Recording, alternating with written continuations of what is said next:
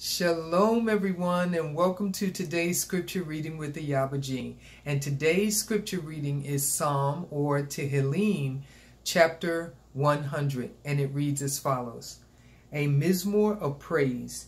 Make a joyful noise unto Yahuah, all ye lands. Serve Yahuah with gladness. Come before his presence with singing. Know ye that Yahuah, he is Elohim. It is he that has made us, and not we ourselves.